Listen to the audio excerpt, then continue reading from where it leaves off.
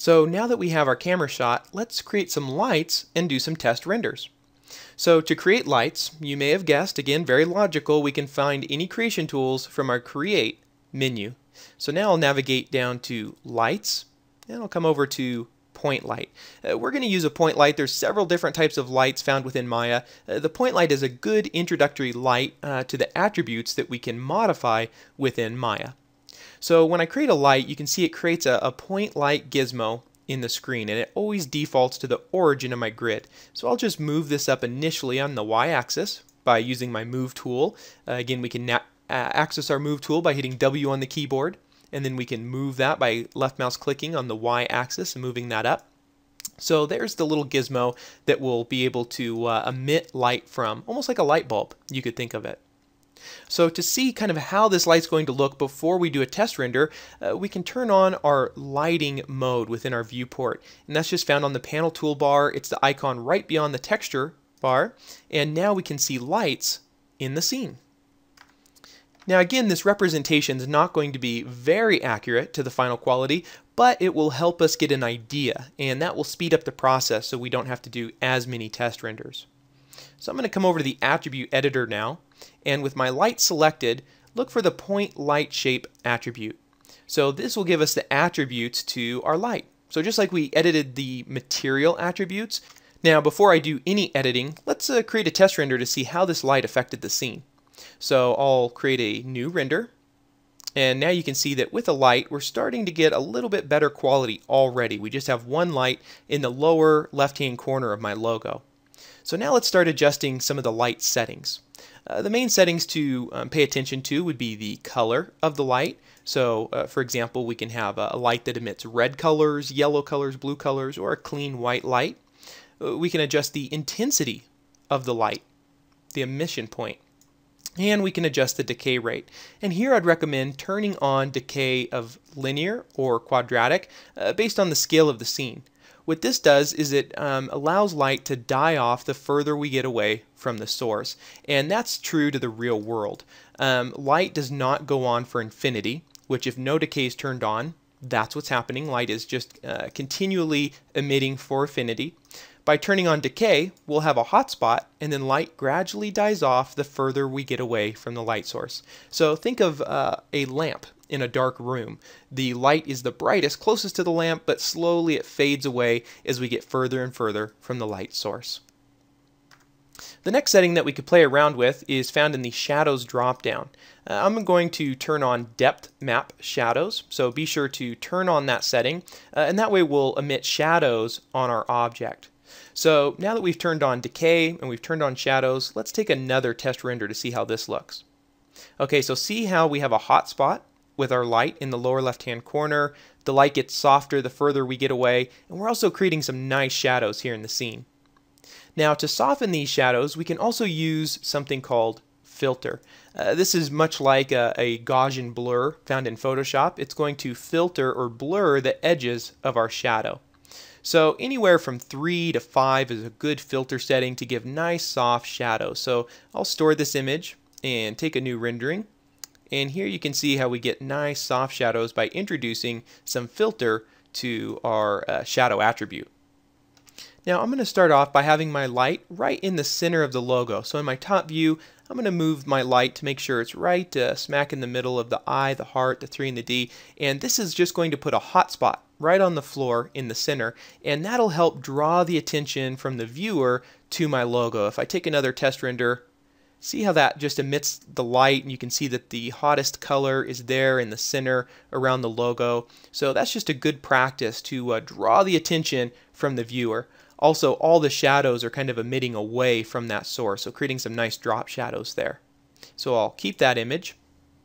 And at this point, you can do the same. So uh, now go ahead and create a point light in your scene. Remember from the creation menu, we can go to lights, point light, and play with the settings. Play with the color, the intensity, the decay.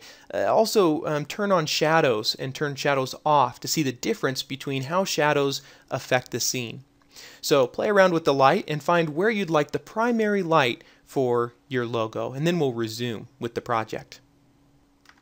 Alright, so now that I have my first initial light, I can begin duplicating my light and creating a, a three-point lighting scenario. Um, and really that's just a technique to light all areas of my logo. Now, really, this process is a trial and error. Uh, there's some theory to three-point lighting, but overall, it's whatever looks best at the end of the day. So feel free to experiment. And if you have lighting backgrounds or lighting experience, you'll probably feel very at home working in this 3D package and playing with lights. If not, just feel free to explore, and you'll have a lot of fun playing with the lights and the colors and seeing how that affects the final render. Now for the light right in the center, I'm going to uh, give this just a nice cool color. So I'm going to change the hue to uh, blues and I'll give this just a tinge of blue. And if we take a look at the render, you'll see how this will just introduce a nice cool color to the overall scene. Now, one thing, I can see my background is just the default um, gray Lambert material.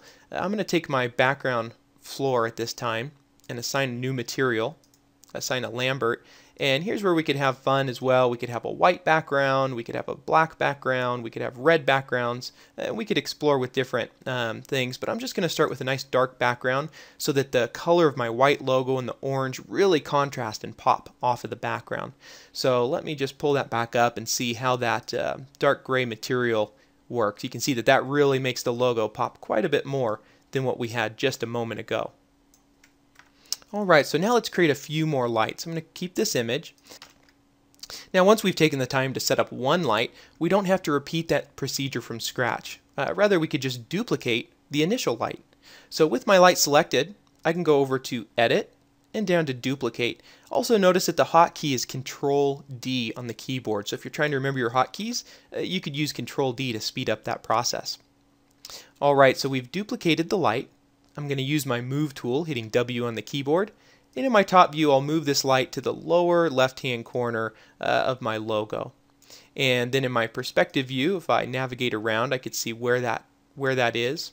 I'll also zoom in in my front view and get this a little bit closer to the logo. And with this light, I'm going to turn down the intensity. And again, we can look in our perspective view and our, in our camera view. So before we even test render, get kind of an idea how this will look.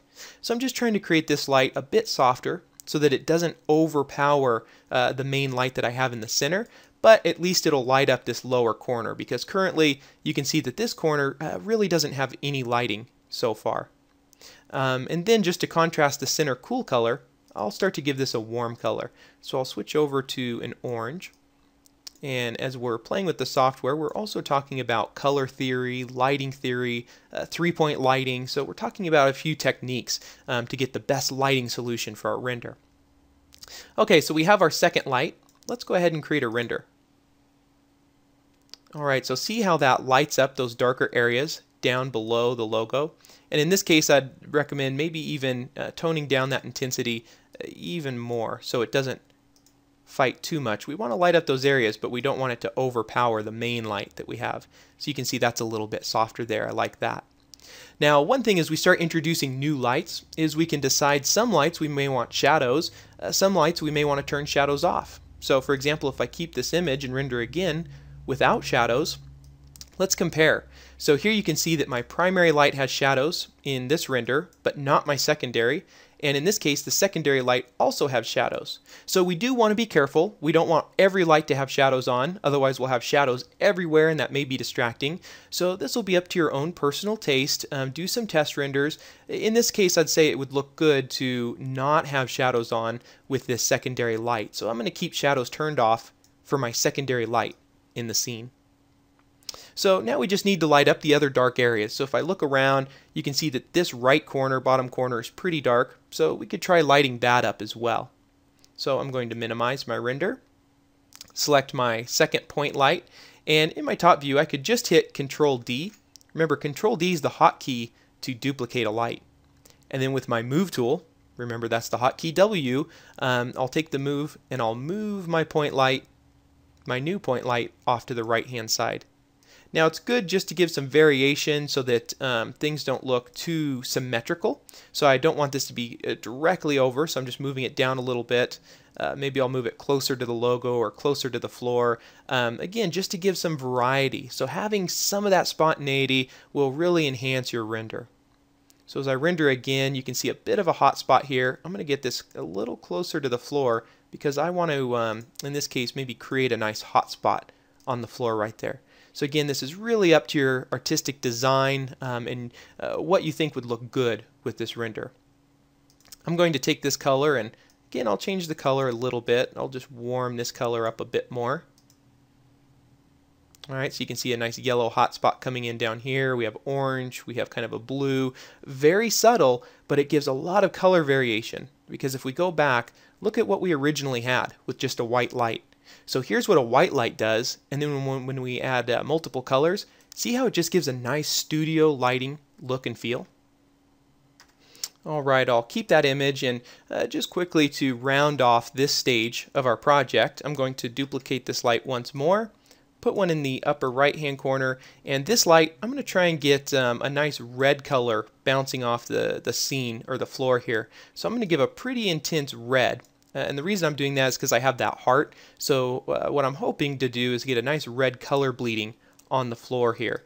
And if I take a test render here, it looks like we need maybe a little bit more intensity with that color. So I'll uh, ramp up that color intensity a little bit more.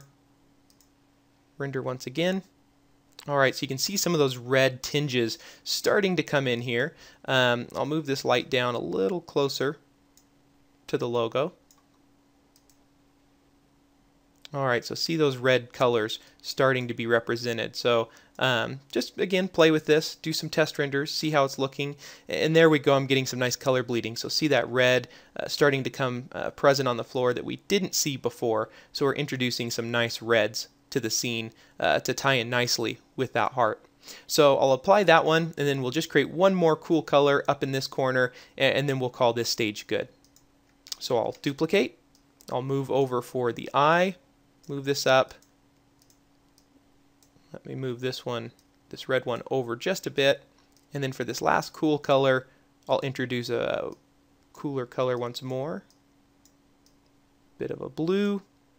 And so I'm just trying to balance having warm colors on one side, cool colors on the other. Uh, a hot spot, the brightest light is in the middle. So we're overall lighting up our logo from every direction um, but the hotspot, our eye, uh, is drawn to the center of our logo. So at this point, I'll keep this image and we'll go ahead and round off this section, uh, stage three, camera and lighting. And now we're ready for the final polishing and the special effects to really take this render from mediocre to a nice professional quality look. So just to recap what we produced in this stage, we uh, created a background plane for our scene. That way we're able to adjust the colors of our background. Uh, we then rotated our scene, so in my case the logo is laying on the floor. Uh, we created a camera by using the Create Camera tool, and then we assigned our side view to look through the camera. That way we have our camera and also our 3D perspective view. Once we'd set up our camera view and locked that in, we then played around with creating lights and seeing how light attributes um, affect the overall look and feel, the dynamic of the logo. So now that we have a, a good lighting approach, uh, we have things figured out, uh, we can move into the next step of the polishing and the special effects to take this render to that professional quality look. So at this time, don't forget to save your scene. We just finished another sta uh, stage of the project. So at this point, we completed the third stage of the project and we worked on the lighting phase of the project. So go ahead and save, so once you've completed your lighting, you've played with that, uh, and you're ready for stage four, we'll then get into our special effects.